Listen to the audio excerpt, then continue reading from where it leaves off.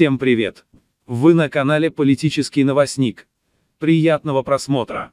Экс-глава Чувашии Игнатьев подал в суд из-за указа Путина об отставке. Перед началом поддержите нас лайком и подпиской на канал. Будем очень благодарны.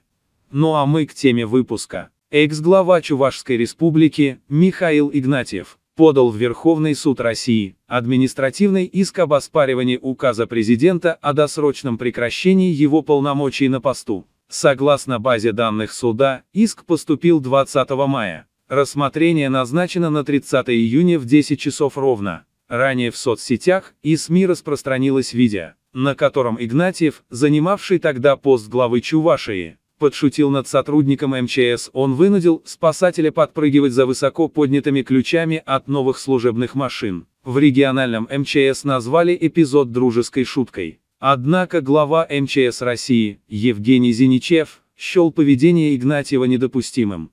Нормативно-правовые акты президента постоянно оспаривают. Но вот указы об отстранении в связи с утратой доверия. Такого не было последние лет 20 точно обычно не выходят с такими исками потому что понимают, что может стать хуже. Рассказал адвокат, Руслан Коблев. Он полагает, что в иске представителей Игнатьева, скорее всего, ссылаются на размытость категории утрата доверия. Это такой термин, который сложно пощупать. Иногда в указах президент ссылается на конкретные обстоятельства. Если это коррупционный случай, и человек совершил уголовное преступление или не указал что-то в декларации, но обычно обходится без этого, пояснил Коблев. Комментируя перспективы иска, Коблев отметил, что Верховный суд, вероятно, разъяснит, что это право президента, не доверять. Но дальнейшие последствия могут быть какими угодно. Подачу такого иска могут использовать как повод поискать, что он совершил в уголовно-правовой сфере.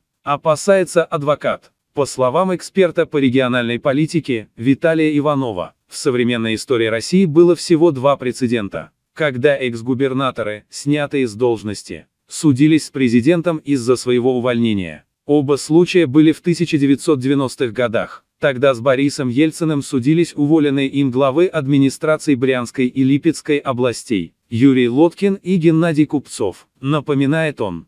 После того, как президентом стал Владимир Путин, подобных прецедентов не было, отмечает он. До сих пор бывшие губернаторы не отваживались судиться с царем. Видимо, Игнатьеву совсем нечего терять, заключает эксперт.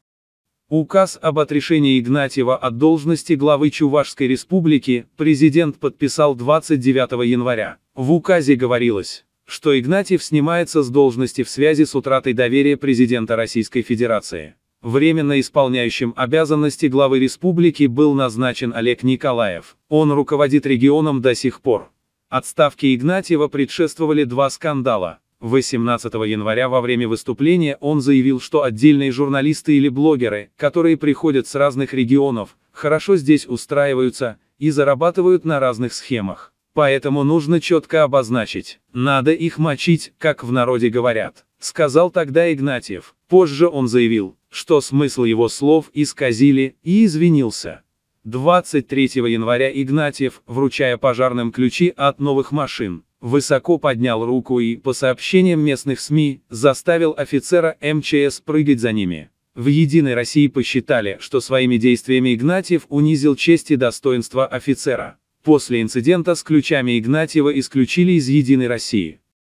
Однако источники утверждали, что положение Игнатьева было шатким еще до скандалов, из-за низких рейтингов. Политолог Ростислав Туровский тогда пояснял, что подготовка бывшего главы республики не соответствовала уровню руководителя региона. При том, что ситуация в Чувашии застойная. Эксперт отмечал, что в случае с Игнатьевым низкий авторитет и отсутствие достижений региональных властей бросают тени на федеральную власть. По состоянию на лето 2019 года, Чувашия входила в десятку наиболее экономически слабых регионов. В Кремле узнали из СМИ об иске бывшего главы Чувашии Михаила Игнатьева, пытающегося оспорить свое увольнение, заявил журналистам пресс-секретарь президента Дмитрий Песков. «Пока я вам не могу сказать, пока никаких решений на этот счет не принималось. Мы действительно видели сообщение, пока это не наш вопрос, я его никак не комментирую». Пока суд выполняет те действия, которые считает нужным, сказал он, добавив, что ему ничего не известно о том, чтобы в канцелярии президента получали какие-то документы.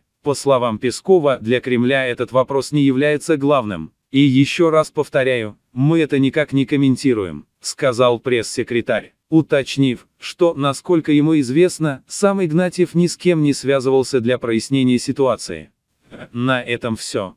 Спасибо за просмотр. Ставьте лайк, подпишитесь на канал, чтобы всегда быть в курсе свежих и интересных новостей. До встречи!